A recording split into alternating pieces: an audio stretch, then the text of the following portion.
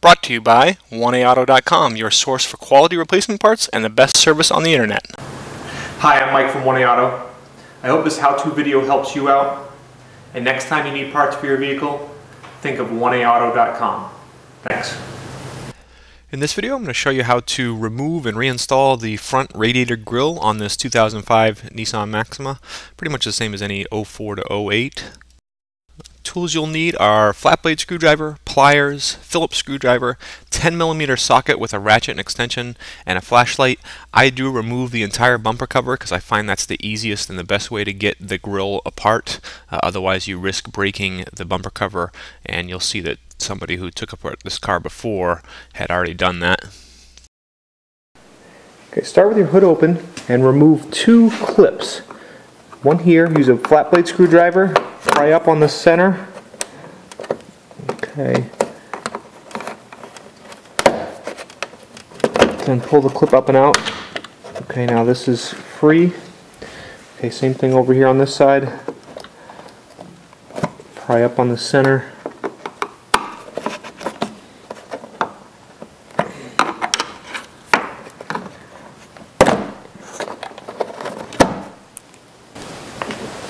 Okay, up underneath in front of the wheels are two Phillips screws. You'll want to remove those. And now you kind of pull this out and pull your inner fender out like that. Okay. You can pull this back. You can see the back of your uh, side light. Okay. A little hard to film, but there's the connection right here. There's a tab on the outside. Pull that tab and disconnect it. Okay, now up inside, there's a 10 millimeter bolt that you want to remove. Okay, and also if you reach your hand a little further up in, you'll feel another one of those bolts.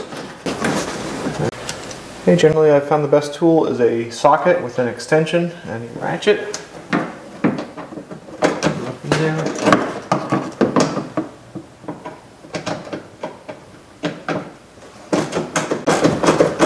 Just going to fast forward through removing those two bolts and obviously again I'm doing this on the passenger side you want to repeat the same procedure on the other side. Is a series of the pins like um, on top and there are six right across here. Okay, looks like this vehicle's been apart. It looks like it only has two of the original ones. One's missing there and then it's got kind of a different style over here. The other option is you can take this apart up here, which has the same thing, series of pins. Uh, you can see on this vehicle, it's actually got a bolt here and no pins here. And it looks like they may have actually super glued this together. Now fast forward here again as I'm pulling the clips out, just like on top, uh, you pry the center out um, and then pull the clip down. On the bottom, they're a little more difficult usually because sand and dirt has gotten in and it makes the clip difficult uh, to get apart. So you'll probably need a screwdriver as well as a pair of needle nose pliers. Okay, once you've got those fasteners off, pull firmly on each side, out, and firm. Okay. Grab it by the sides here. Pull forward and the whole fascia comes off. Okay, so I find it much easier to take the grill off um, when you pull the fascia off. Um, and this grill is, uh, this is a perfect example why. This vehicle, somebody has just kind of ripped this off, or maybe it got damaged in an accident or something. But you can see there's supposed to be little slots here where these tabs in the grill uh, lock into. And with it off, you can easily get in here with a screwdriver, push on these tabs, and unlock them. Um, but you can see that somebody didn't do that. And in addition to that, what you want to do is over here, there's just a little plug. You push the middle of the plug down, okay, and that allows that to unlock. Okay, and as I said, you would normally unlock each one of these tabs and pull the grill off. Okay, but my fascia has been broken. Uh, and then additionally, if you wanted on a new grill to put this, you'll want to change this top panel over. And there's basically just four um, clips, one, one here, here, and then on this side as well. And these clips are just like the other ones. You pry up the center, pull the clip out, okay, and then to put it back together, you just push the clip in.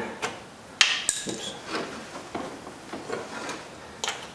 Just push the clip in, and then put the locking tab right in. Okay.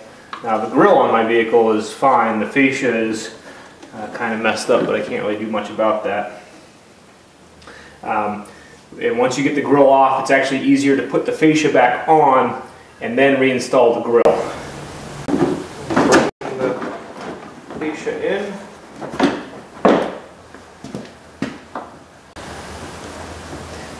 Okay, you can put these clips right on top here in. Lock them in place.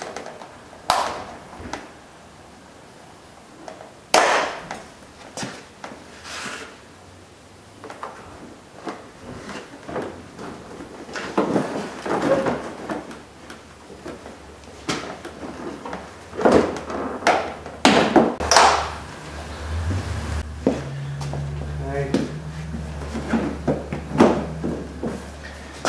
And you want to push it in.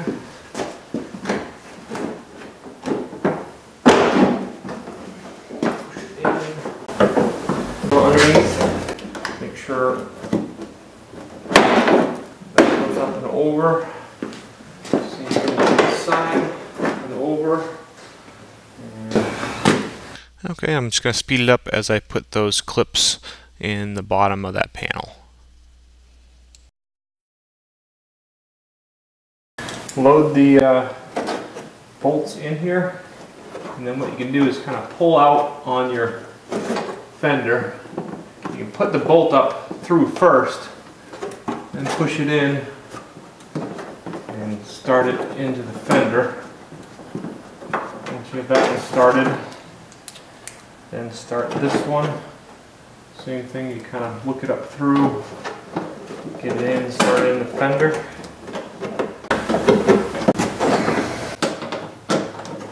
Okay. Start up in.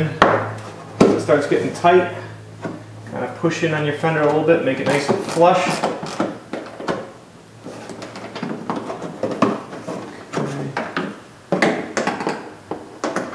Same thing this one.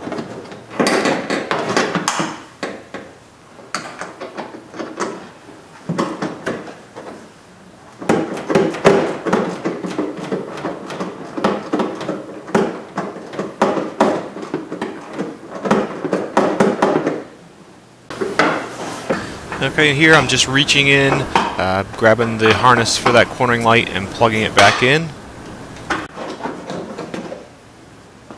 Okay. Now just push your fender back up and in. And now reinstall the two Phillips screws underneath. Uh, obviously, um, repeat the procedures for the other side.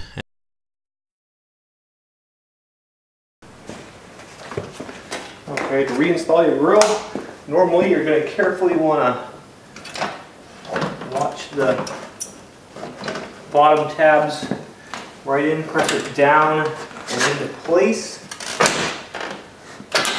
Okay, and then replace your clips up here.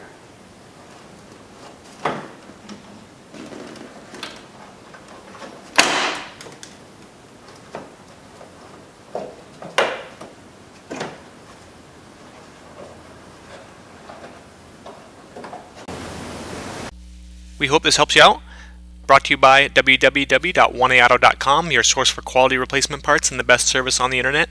Please feel free to call us toll free 888 844 3393. We're the company that's here for you on the internet and in person.